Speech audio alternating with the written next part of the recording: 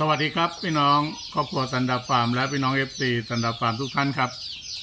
วันนี้สันดาฟาร์มมีเรื่องที่จะต้องนำมาพูดคุยให้กับพี่น้อง FC ได้เข้าใจนะครับ ซึ่งระยะอาทิตย์นี้นะครับ เป็นมีคนประสงค์ร้ายต่อวงการปศุสัตว์นะครับ เที่ยวเอามาแชร์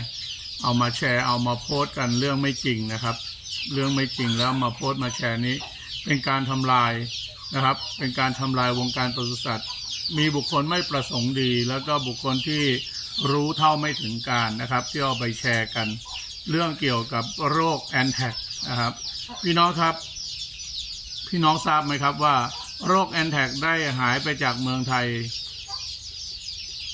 20กว่าปีแล้วครับ20กว่าปีแล้ว ไม่มีโรคแอนแทกในเมืองไทยโรคแอนแทกคือเป็นโรค กาลีหรือโรคหนังไหมนะฮะซึ่งเป็นโรคที่ไม่สามารถที่จะกำจัดได้ต้องฝังทิ้งอย่างเดียวนะครับ ความร้อนไม่สามารถทำลายได้ ซึ่งถ้าสัตว์ติดต่อด้วยโรคโรคแอนแทกสัตว์ป่วยด้วยโรคโรคแอนแทกแล้วเราจะเอาเนื้อมาบริโภคนี้จะติดถึงคนนะครับ ซึ่งจริงๆแล้วไม่ไม่ทราบว่าเกิดอะไรขึ้นนะครับ ระยะนี้มีคนมาหลอกขายวัคซีน มีคนแชร์กันมาเยอะแยะมากมาย ซึ่งข่าวนี้นะครับ โรคนี้มันยังอยู่ในประเทศ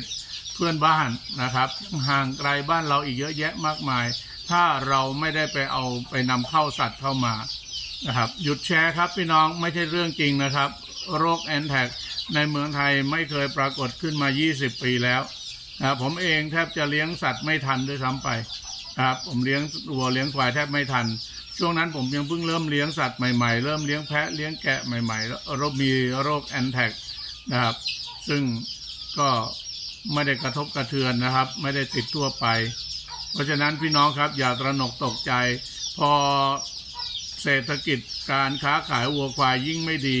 พี่น้องยิ่งไปแชร์อย่างนี้นะครับ คนยิ่งไม่บริโภคเนื้อวัวเนื้อควาย ยิ่งไปกันใหญ่เลยครับ ยิ่งทำให้เศรษฐกิจล้มเหลวไปใหญ่เลย เพียงพี่น้องแชร์ข้อความของท่านนิดเดียวซึ่งไม่ได้เป็นความจริง ท่านไม่รู้เรื่องท่านอย่าเพิ่งเอามาแชร์ครับ ถ้าไม่มีหลักฐานยืนยันชัดเจนว่าที่น่นที่นี่มันเป็นแล้วไปถ่ายรูปด้วยตัวเอง แล้วมีสัตวแพทย์ยืนยันว่ามันป่วยด้วยโรคแอนแทกเออ อย่างนี้ค่อยว่ากันนะครับ อย่างนี้ค่อยว่ากันว่า เออมันเกิดขึ้นจริงแล้วในประเทศไทยเราก็มาเตือนกัน แต่นี้มันยังไม่มีครับ มันยังไม่เกิดโรคเลยแอนแท็กยังไม่มียังไม่มีอะไรทั้งนั้นครับพี่น้อง อย่าไปแชร์ครับ มันเป็นการทำลายกันนะครับ อย่าไปแชร์ มันเป็นเออมันเป็นกระต่ายตื่นตูมโรคมันเกิดที่ไหนก็ไม่รู้ข่าวจริงข่าวปลอมก็ไม่รู้ เราไม่สามารถจะรับรู้ได้เลย เพราะว่า เราไม่ได้เห็นด้วยตาของตัวเองนะครับ แล้วแหล่งที่มาจากข่าวก็เป็นเฟกนิว พูดไปเรื่อยเปื่อยนะครับพูดไปเรื่อยเปื่อย พูดจนน่ากลัว พูดจนเนื้อวัวเนื้อควายขายไม่ได้เลยตอนนี้นะพี่น้องทำไปเพื่ออะไรครับ อย่าไปทำครับ มันทำลายวงการปศุสัตว์ มันบาปครับ มันบาปนะพี่น้องเราไปทำอย่างนั้น ผมเองเนี่ย ถ้าไม่ข่าวไม่ชัวร์จริง ๆ ไม่แชร์ครับ ไม่ชัวร์จริง ๆ ไม่แชร์ อย่าไปทำครับพี่น้องอย่าไปทำนะนะครับผมบอกให้ทราบไว้ตอนนี้ โรคต่างๆไม่มีครับ นะผมเช็คดูทั่วหมดแล้วทั้งประเทศ ผมจะรู้ดีครับ ถ้ามีเหตุการณ์อะไรเกิดขึ้นเนี่ยเกษตรกรจะโทรมาเล่าให้ผมฟังก่อนเป็นลำดับแรก ๆเลยนะครับ ผมจะเข้าถึงเกษตรกรได้ดีนะครับผมจะรู้ข่าวก่อนเพื่อน แล้วผมก็เห็นแชร์กันบ่อยเหลือเกินนะครับ แชร์เรื่องขายวัคซีนลำแอนแทกบ้าง แชร์เรื่องโน้นเรื่องนี้บ้างอย่าไปเป็นเหยื่อครับ พี่น้องอย่าไปประโคมข่าว อย่าไปแชร์ต่อ ถ้าพี่น้องจะแชร์ พี่น้องต้องรู้ข่าวให้ชัดเจนก่อนแล้วค่อยแชร์นะครับ เดี๋ยวไปผิดกฎมงกฎหมายเข้าจะเดือดร้อนนะครับ จะเดือดร้อนการที่เรา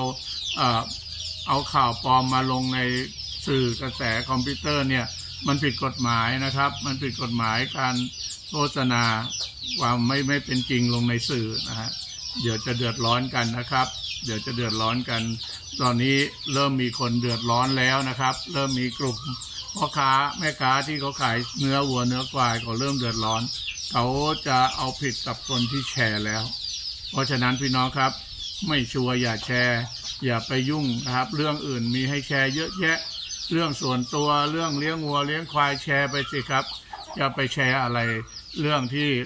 มันเสียหายกับวงการนะครับ แล้วมันเป็นเรื่องไม่จริงด้วยนะ ถ้าแชร์เรื่องจริงผมไม่ว่าครับพี่น้องครับ สวัสดีครับ